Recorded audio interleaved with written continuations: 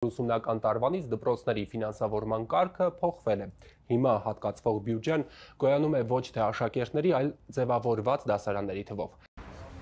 Դպրոցը տեղափոխվեց նոր մասնաշենք, դրան զուգահեռ փոխվեց նաև ֆինանսավորման նոր կարգը։ Երկու երնեք մի տեղում կատնախբյուրի հիմնական դպրոցի համար եղավ ուսումնական տարեսկզբին շահագործման հանձնեցին նորակառույց շենքը։ Դպրոցի ֆինանսավորման նոր կարգի շնորհիվ էլ մեծ տնտեսումներ արեցին, սեփական միջոցներով գնեցին ինչ պետք է՝ էլեկտրոնային գրատախտակ, կարի մեքենաներ։ Նույնիսկ տարեվերջին ստացվում էր այնպես, որ ֆինանսական միջոցները չէր բավարարում ու ստիպված ենք լինում մարզպետարանից որոշակի գումար խնդրել տարին փակելու համար։ Հիմա դպրոցները նախարարությունից փող ստանում են ոչ թե աշակերտների, այլ ձևավորված դասարանների թվի հաշվարկով։ Փոփոխությունը հատկապես շահեկան է մայրաքաղաքից հեռու օբյեկտիվորեն քիչ սան ունեցող դպրոցների համար։ Քաղաքային բնակավայրերում ունենք դպրոցներ, որոնք բավականին մեծ թվով սովորողներ ունեն եւ այս դպրոցներն էլ ունենում էին անհամաչափ մեծ ֆինանսավորում, ինչի արդյունքում իրենք չէին կարողանում նաեւ ծախսել իրենց հատկացված ֆինանսավորումը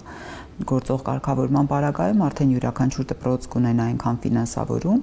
որքան դասարան ունի։ 2023-ին պետական բյուջեյով 1146 հանրակրթական դպրոցի հատկացվել էր 104 միլիարդ դրամ, տարեվերջին այն ավելացվեց եւս 701 միլիոն դրամով։ 2024-ի հաստատված բյուջեն 6 միլիարդով արդեն գերազանցում է նախորդ տարվանը, բայց նախնական հաշվարկներով գումարների կավելանա։ Ֆինանսավորման նոր կարգով վերանայվել է կոմունալ վճարների համար հատկացվող գումարի չափը։ Նախկինում ֆիքսվածի փոխարեն հիմա դպրոցները ստանում են վերջին 3 տարում փաստացի ծախսի միջինը։ Մենք ունենք աշխարհագրորեն տարբեր դիրքերում գտնվող դպրոցներ, դպրոցներ, որոնք 6-7 ամիս ջեռուցման փուլում են, դպրոցներ, որոնք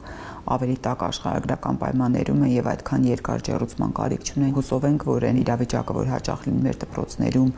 անբավարար միջոցների արկայության պայմանավորված այլևս չի լինի։ Տնօրենների աշխատավարձերը կախված դպրոցի մեծությունից համապատասխանեցվել է քաղաքացիական ծառայության ղեկավար պաշտոնների բարձրացությանը։ Դասղեկության մեթոդ միավորման ղեկավարի աշխատանքի համար սահմանվել են վճարներ։ Ուսուցիչների նվազագույն աշխատավարձն էլ հստակեցվել է մոտ 115000 դրամ։ Իհարկե նախկինում ավելի շատ ստացողների աշխատավարձերը պահպանվել են։ Բնագիտաճարտարագիտական առարկաներ դասավանդողների աշխատավարձն էլ ավելացել է 25%-ով։ Գյուղական փոքր մինչև 100 աշակերտ ունեցող դպրոցների պարագայում էլ ուսուցիչները ստանում են լրացուցիչ հավելավճարներ։ Եթե ուսուցիչը